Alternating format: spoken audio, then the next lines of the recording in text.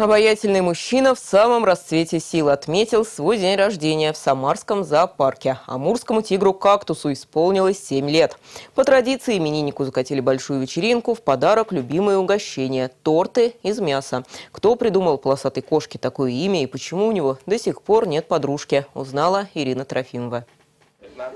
Много гостей и праздничный торт из мяса. Неотъемлемые атрибуты дня рождения в зоопарке. Впрочем, именинника ни тем, ни другим, похоже, не удивить. Все внимание всему одному подарку – пластиковой игрушки.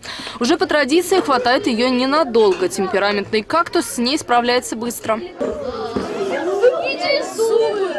Он любит э, наших охранников обожают просто. Независимо от того, какого возраста охранник, какой форме охранник или вообще новый охранник, старый охранник, он начинает очень прыгать активно, он встает на задние лапы, он э, изображает охоту, он целится, прыгает, как только видит охранника. Имя самцу в самом расцвете сил, а ему стукнуло 7 лет, подобрали под стать характеру – колючее. Чистокровным амурским тиграм кличками служат название растений.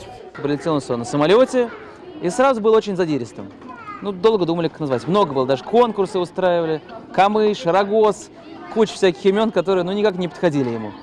Ну, какой он был? Задиристый, ершистый, как, как кактус. Ну и вот так прижилось, появился в Самарском зоопарке тигр-кактус. А вот усмирить буйный нрав и горячее сердце тигра пока некому. Подружки, несмотря на половую зрелость, у него нет. Жилплощадь не позволяет, шутят сотрудники зоопарка. Ирина Трофимова, Александр Каракулько, Новости губернии.